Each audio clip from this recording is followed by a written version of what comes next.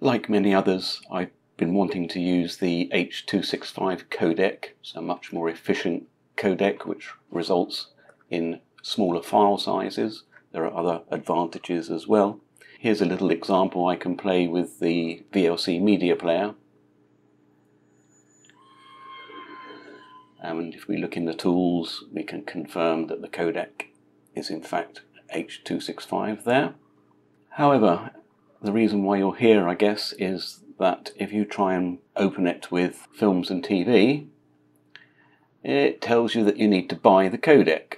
Sometime last year, I went through this same procedure on another machine, and this codec was free, and now they want the princely sum of 79 pennies for it. Now, I'm not adverse to paying that.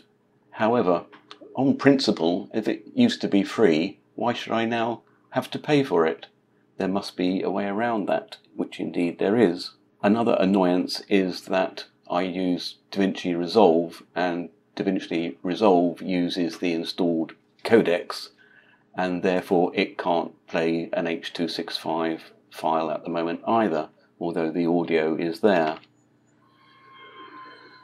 What to do then? What I discovered was that when you install the HEVC codecs, what the Microsoft Store does is to download a file which is called an APPX file, and I have a copy of it here. There will be a link down in the description as to where you can find this and make sure you download either the 64-bit or 32-bit version for your machine. To install the extension, we simply double click it and install. And it says it's ready for us. Now then, if we open with our films and TV, all is good. Nice launch. And here in DaVinci Resolve, the uh, problem is resolved as well. I hope you found that of interest, and thanks for watching.